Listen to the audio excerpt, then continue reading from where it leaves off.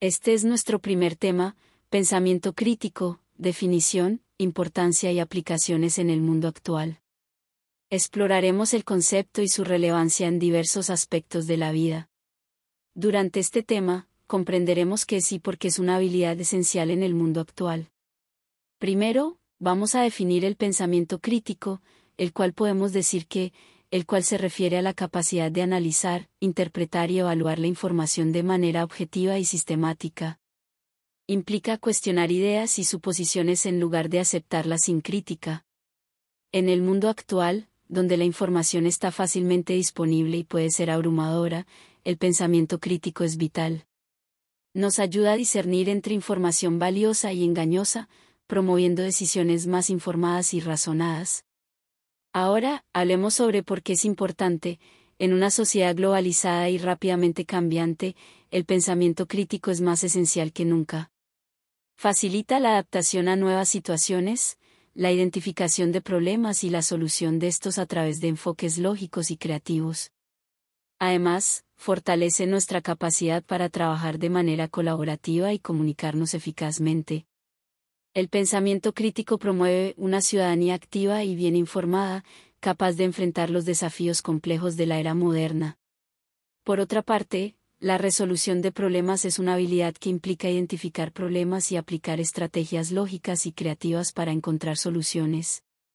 Esta habilidad va más allá de aplicar fórmulas preestablecidas, requiere adaptabilidad, innovación y una comprensión profunda de los contextos en los que surgen los problemas.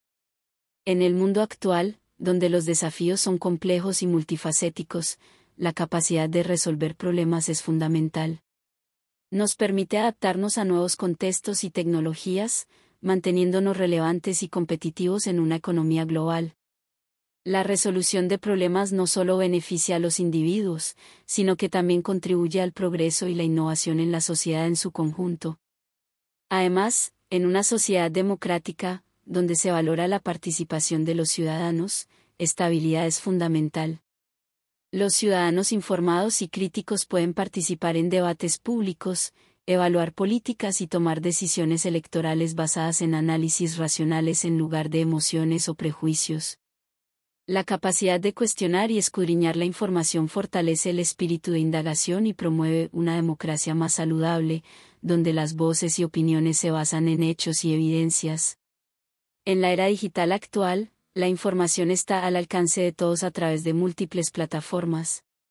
Sin embargo, esta accesibilidad viene con desafíos, como la proliferación de noticias falsas y desinformación. El pensamiento crítico es una herramienta vital para navegar este entorno complejo.